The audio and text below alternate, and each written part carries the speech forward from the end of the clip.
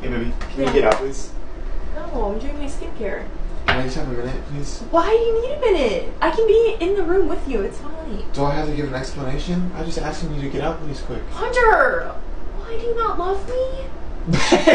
oh my god. It has nothing to do with that. I just need a moment of privacy in here. We can do our thing in the same room but separate. It's okay. I'm like, I'm just asking, can you just get out for a Hunter, minute, please? I'm feeling like you don't love me right now. Oh Just let me be. Let me be in here. I have to take a fat dump. Yeah. Can you get out? Get me up. Oh my god. Babe, I can be in the room. You take fat dumps in front of me all the time. Oh, good lord.